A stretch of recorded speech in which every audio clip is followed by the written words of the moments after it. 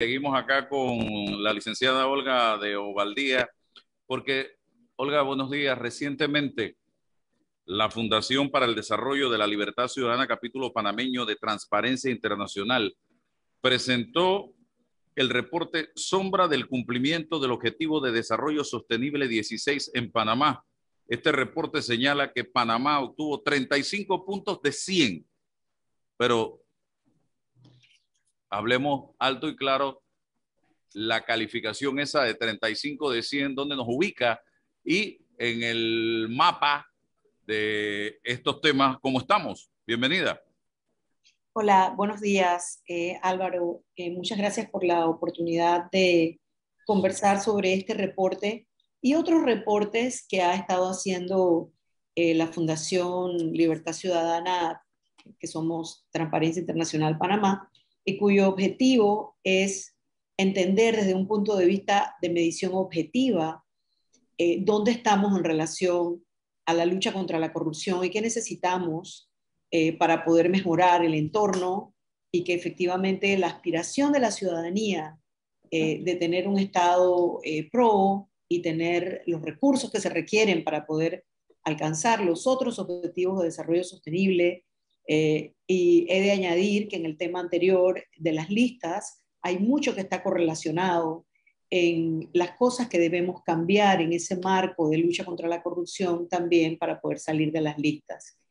Em, eh, quisiera señalar eh, a la audiencia que estos em, reportes están disponibles en nuestra página web, que es libertadciudadana.org, y eh, para no confundir una cosa con otra, o como dice el dicho, una cosa es una cosa y otra cosa es otra cosa.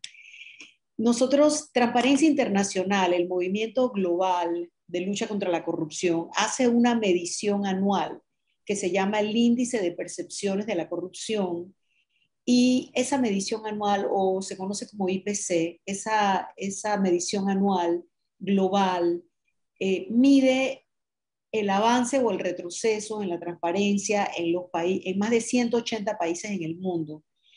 Y, hay, y tiene una calificación que va de cero, siendo lo más opaco, a 100, lo más transparente.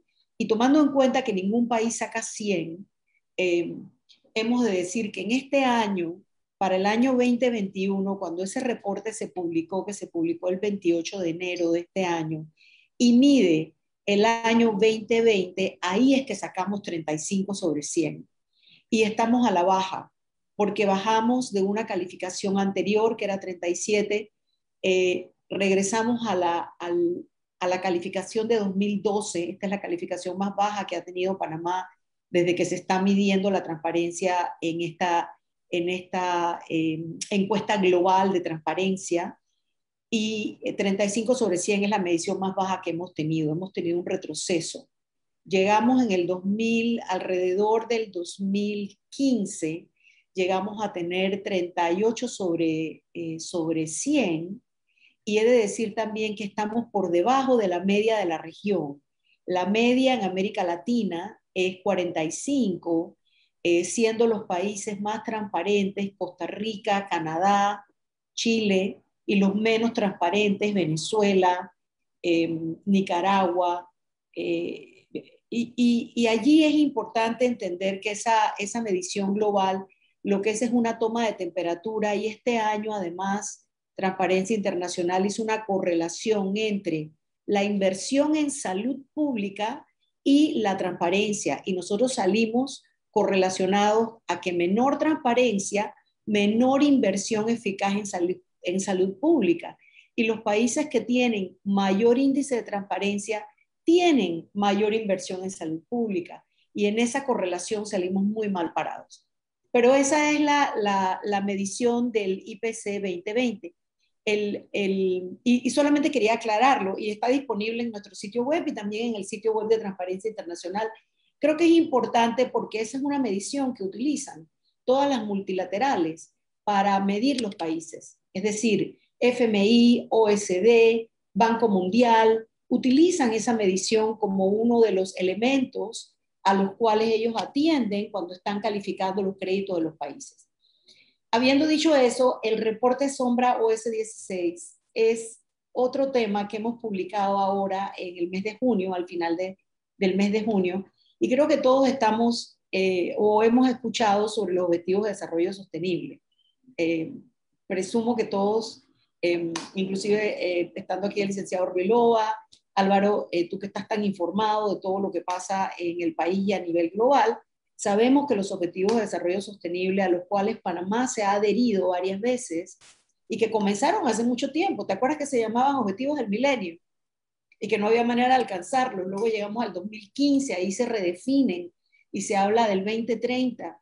Panamá eh, los ha asumido varias veces y en un momento dado eh, los pasaron a, los integraron dentro de un plan estratégico que se elaboró en la Concertación Nacional para el Desarrollo y el ente, que es como el ente regulador de los, o el ente regulador no es la palabra, discúlpame, el ente que tiene la responsabilidad de ir viendo cómo los objetivos de desarrollo sostenible se van alcanzando es el MIDES.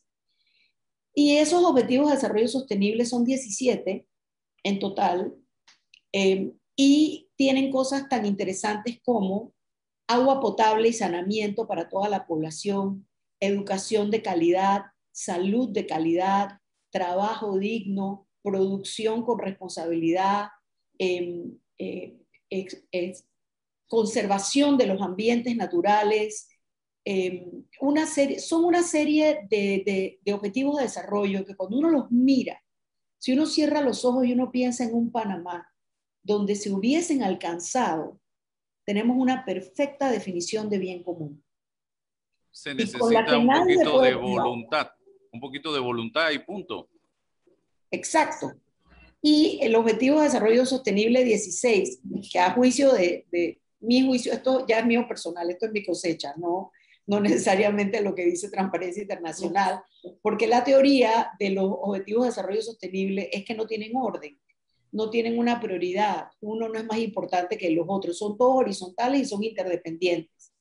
Sin embargo, para mí el 16 debe ser el número uno. Porque si no alcanzamos el 16, no alcanzamos todos los demás. El Objetivo de Desarrollo Sostenible 16 dice que de al 2030 el país se compromete a, una, a alcanzar paz, instituciones sólidas, em, y allí ese objetivo además tiene una serie de subobjetivos que son los que hemos medido. ¿Por qué se llama reporte sombra? porque en el mecanismo de Naciones Unidas solo el país puede informar voluntariamente, oficialmente, cómo va el desarrollo de los objetivos. Entonces, Panamá ha hecho dos reportes oficiales, uno en 2017 y uno en 2020, donde no había un tratamiento eh, relevante sobre el, el objetivo 16. Y Transparencia Internacional ha desarrollado esta metodología para ir midiendo en los objetivos de desarrollo sostenible, los subobjetivos del objetivo del 16, ir midiendo qué avances o, o, retrocesos hay. Y te digo cuáles son. En, el, en este objetivo, paz, justicia e instituciones sólidas, nosotros hemos medido paralelamente cómo va el país en los temas de Estado de Derecho y acceso a la justicia, lucha contra el crimen organizado y detener los flujos ilícitos, o sea, lavado de dinero que va correlacionado al crimen organizado y al terrorismo, lucha contra la corrupción y contra los sobornos o coimas en todas sus formas, acceso a la información y protección de las libertades fundamentales y acceso a la justicia y respeto del Estado de Derecho. Esos son los cinco eh, elementos que hemos medido paralelamente porque el Estado oficialmente no ha hecho esa medición. Y en esa medición nosotros hemos encontrado que en general Panamá tiene un desarrollo en cuanto al marco normativo de evitar la, el, el, crimen organizado, el flujo ilícito, el tráfico de armas, eh, eh, tratar de adecentar las contrataciones públicas, que tiene cierto desarrollo que se acerca al estándar internacional, pero que lo que está, nos está faltando es la voluntad de hacer cumplir la ley. Aquí se habla mucho de corrupción y corrupción y corrupción todos los días pero tenemos cifras específicas de cuánto dinero se pierde en materia de corrupción. Bueno, hay unos, hay distintos, hay distintos eh, eh, mediciones. Hay una medición que indica que Panamá en los últimos, en, los, en las últimas tres administraciones, Panamá ha estado perdiendo aproximadamente un 1% de su Producto Interno Bruto todos los años a la corrupción. Si nosotros sumáramos, lo que pasa es que la corrupción es muy difícil de medir, principalmente porque solo nos enteramos de lo que nos enteramos. No sé si me explico. No sabemos lo que no sabemos. Hay, la, la, naturaleza de los esquemas de corrupción es que son secretos. Y en este país, donde las instituciones de control, en, por lo menos en todo el tiempo de la emergencia sanitaria, las instituciones de control parecen haber renunciado a su rol, tenemos un, tenemos un poder que está casi sin controles y solo nos enteramos aquello que sale en los medios es objeto de denuncia.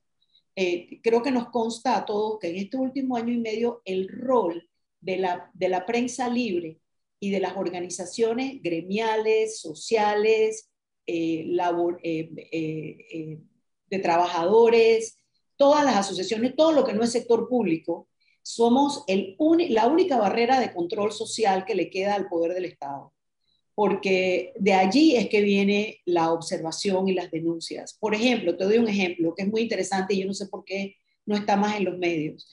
La organización Justicia y Paz, la Comisión de Justicia y Paz, es una organización muy respetada que tiene mucha acción de observación y veeduría civil, especialmente durante las elecciones. ¿Te acuerdas que ellos siempre hacen una observación paralela y tienen una red de voluntarios muy bien entrenados en observación electoral utilizaron su red para verificar, eh, para hacer una veeduría ciudadana sobre el plan Panamá Solidario.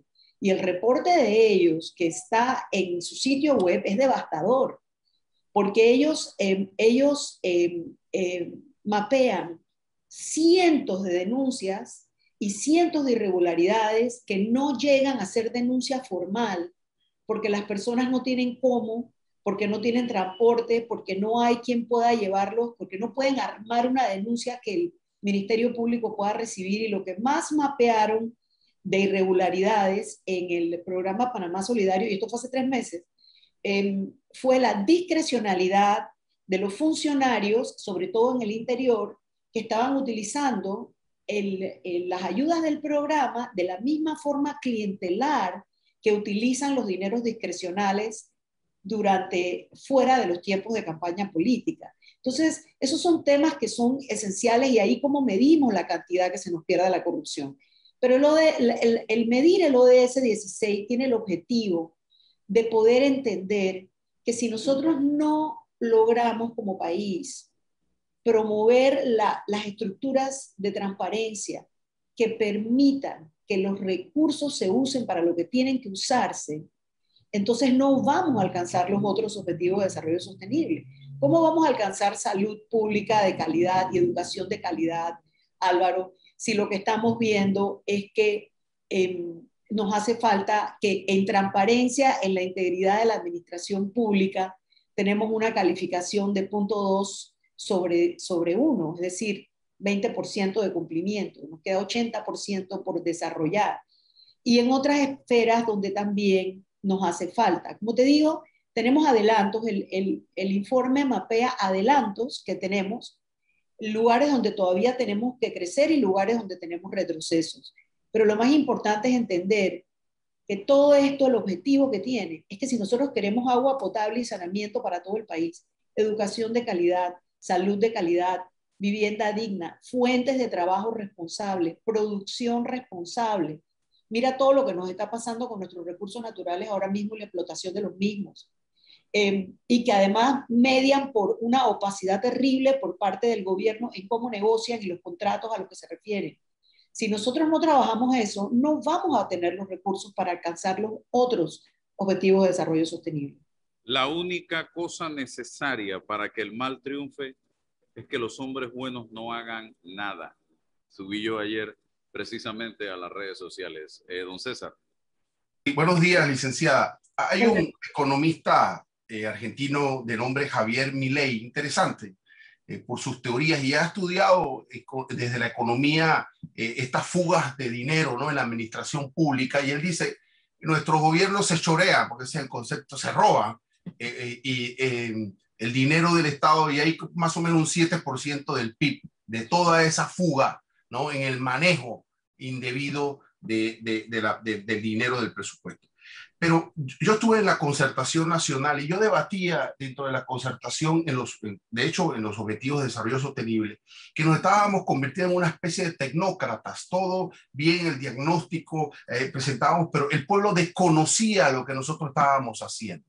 ¿Cómo nosotros conversamos con el pueblo sobre la importancia de estos objetivos? ¿Cómo le puede impactar sus vidas y cómo defender desde el pueblo estos objetivos. Si el pueblo no es aliado en, estos objetivos y en este plan de desarrollo sostenible, no vamos a poder esperar la dinámica y la iniciativa de la voluntad, no pequeña Álvaro, de la gran voluntad del poder político para hacer realidad esto. No sé si comparte esa tesis o tiene... Y le, y le agrego a lo del pueblo que dice César atinadamente, ¿qué puede hacer el pueblo también en la dirección de frenar la corrupción.